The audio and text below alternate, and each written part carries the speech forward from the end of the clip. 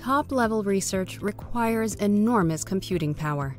Today, computer simulations and data-intensive computing comprise the third pillar of research alongside theory and experimentation.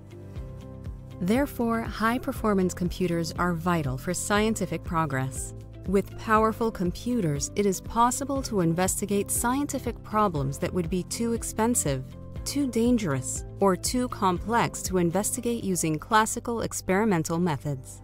At the Technical University of Darmstadt, the Lichtenberg High Performance Computer is available to all researchers.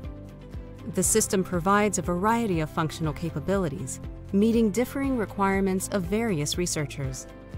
Massive parallel computing, very large storage space, and additional graphics card accelerators. This architecture allows flexible and efficient usage by the researchers. The Hessian Competence Center for High Performance Computing, known in Germany as the HKHLR, is a distributed competence network across the five universities located within Hesse.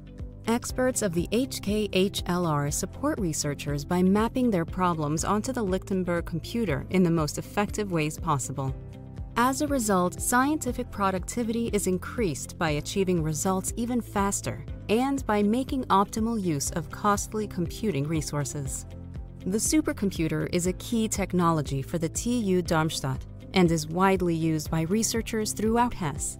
Application areas include a variety of scientific disciplines, such as mechanical engineering, materials science, chemistry, physics, mathematics, computer science, and electrical engineering.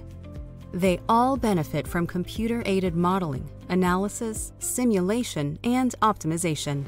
For even more computing power, the next installation phase is already approved and funded by the state of Hesse and the federal government. It will provide enhanced possibilities for machine learning and data-intensive computation.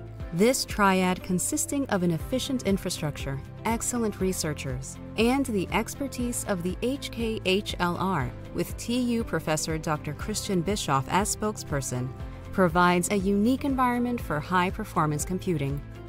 Thus, TU Darmstadt will continue to perform research at an internationally competitive level.